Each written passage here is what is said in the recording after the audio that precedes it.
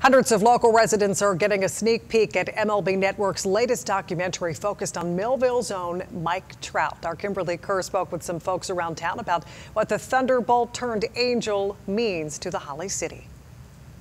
He's a two-time MVP, a five-time Silver Slugger, and has made the All-Star team five times. If you haven't guessed yet, clearly I'm talking about everyone's favorite baseball player here in Millville, Mike Trout. And tonight the seats here at the Levoy Theater will be filled as everyone watches the story of their hometown MVP on the big screen.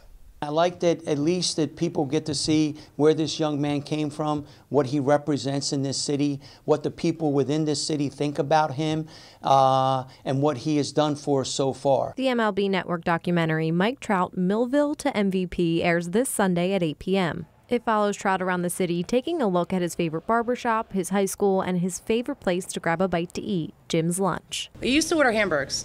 Uh, if he were here today, I'm sure he would order two doubles just with sauce, two double cheese. On the baseball diamond, he's hitting homers and robbing others of them. But back home in Millville, he's just a regular guy. He comes home to where his roots are at, and he's just a regular Mike Trout, you know, that goes to Jim's Lunch, uh, that drives around, takes his buddies out hunting. Money and fame has not changed him.